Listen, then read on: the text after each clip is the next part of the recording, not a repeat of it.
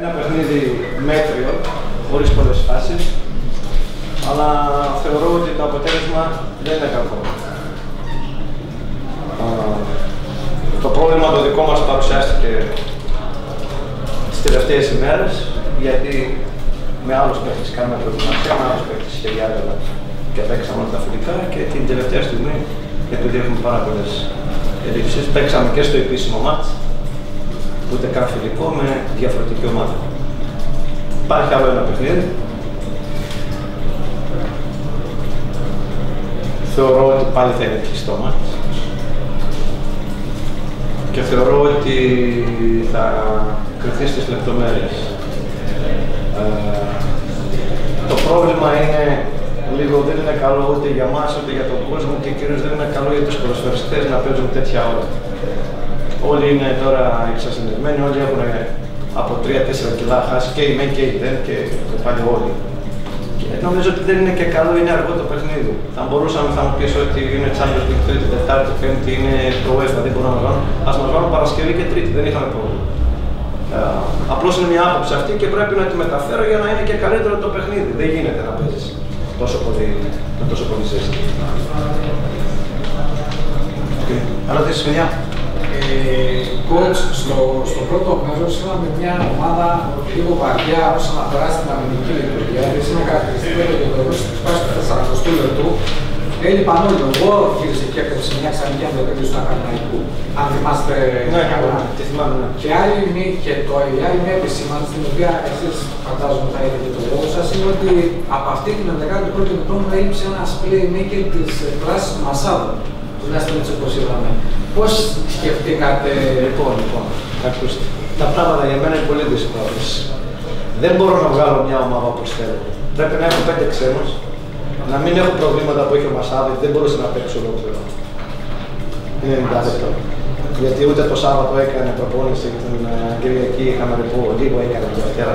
Τότε μας δεν μπορούσε να ξεκινήσει με ένα τραυματία που θα κάνει αλλαγή. Όταν βάλεις ξένο, πρέπει να βγάλεις ξένο. Είναι πολλά τα τα προβλήματα σε εμάς τους προπονητές. Δεν είναι εύκολο. Συμφωνώ και εγώ σε αυτό το πράγμα. Και ήταν προτιμότερο, αφού είδα ότι πέρασε ένα 45 λεπτό, να γίνει αυτή η αλλαγή και η αλλαγή μα βοήθησε πολύ και στο να κυκλοφορήσουμε καλύτερα την μπάλα και να γίνουμε και περισσότερο απειλητικοί. Δεν είναι εύκολο, σας έχω πει. Γιατί με άλλη ομάδα ξεκινήσαμε, με άλλη ομάδα παίξαμε το πρώτο παιχνίδι μετά από 60 ημέρες. Και έχουμε και αυτό το πρόβλημα το, το ότι δεν μπορούμε να βάλουμε πολλούς ξένους. Κάτι άλλο; Οκ, ευχαριστούμε λίγο. Ε, Καταρχάς, ε, πριν πούμε δύο λόγια για το παιχνίδι, θα θέλαμε να ευχαριστήσουμε τους ανθρώπους του ΟΦΗ ε, για τη φιλοξενία και να είστε σίγουροι ότι θα τα αποδώσουμε και εμείς σε τέσσερις μέρες. Τώρα, όσον αφορά το παιχνίδι, ε, από την αρχή της κλήρωσης του ζευγαριού, ξέραμε ποιο είναι το φαβορή και παραμένει φαβορή ανεξάρτητα από το αποτέλεσμα ε, το σημερινό. Εμείς ήρθαμε εδώ, ξέροντας ότι είχαμε να αντιμετωπίσουμε μια πάρα πολύ καλή ομάδα, αλλά νομίζω ότι μετά τα 90 λεπτά ε, και την εικόνα του παιχνιδιού, νομίζω ότι το αποτέλεσμα είναι δίκαιο, γιατί και οι δύο ομάδες δημιουργήσαμε κατέρευτε ευκαιρίε και θα μπορούσε η ομάδα σκοράζει πρώτη να πάρει και το παιχνίδι.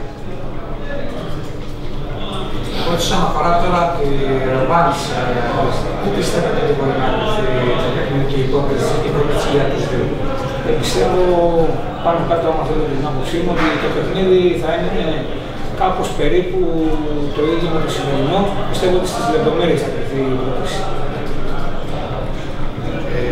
να μας κάνετε, δεν είναι βέβαια για το κύπελο, αλλά δεν βρίσκουμε την ευκαιρία να έχουμε και πολλούς προπονητές από τη δεύτερη εθνική. Μια κρίση σας για το φετινό πρωτάθλημα της δεύτερης εθνικής. Ε, εγώ νομίζω ότι αυτή τη στιγμή πάντα μιλάμε με προγνωστικά και στα χαρτιά.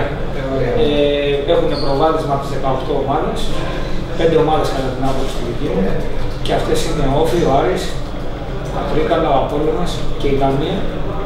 Και πιστεύω ότι αυτές οι 5 ομάδες είναι ένα κλικ παραπάνω από όλες τις υπόλοιπες. Πιστεύετε ότι μπορεί να κρυφθεί η άνοδος; Πιστεύω ότι όποια ομάδα από αυτές τις 5 που είπα χάσει λιγότερους βαθμούς εκτός έδρας, αυτό θα είναι και η πρωταθλήτρια ή εν πάση περιπτώσει με τη, για τις δύο προνομιώδες θέσεις που μιλάμε. Θα μας πείτε δύο λόγια για τον Αθωναϊκό, μια ομάδα που δεν δέχεται γκολ, έχει ένα πρόβλημα στο σκοράρισμα. Ναι, Δηλαδή ναι. να δούμε και στα φιλικά Ναι. και στο σημερινό το πρώτο επίσημο. Πολύ σωστή Πέντε μάτς, παρατήρησή σας. πέντε μηδέν μηδέν. Πολύ σωστή η παρατήρησή σας, αλλά δεν πρέπει να ξεχνάμε ότι ο Παναθηναϊκός πέρσι, πέρσι ε, από το περσινό του ρόστερ έχει αλλάξει 25 ποδοσφαιριστές. Είναι μια καινούργια ομάδα. Με, έχουν έρθει στην ομάδα και καινούργια πρόσωπα, αλλά και μικρά σε ηλικία άτομα. Τα οποία αυτά όλα τα πράγματα μέσα σε λίγο, μέσα σε 1,5 μήνα έχουμε καταφέρει να μην δεχόμαστε γκολ και πιστεύω ότι αν βελτιώσουμε και από τη μέση και μπροστά την εικόνα μας, η ομάδα θα, θα, θα σταθεί αξιοπρεπέστατα στο πρωτάθλημα του καινούργιου της Β' Εθνική και ο στόχος του Αχαρναϊκού είναι να ξέρετε το γρήγορο σώσιμο. Εντάξει, παιδιά. Εντάξει, Ευχαριστούμε πολύ. Πολύ,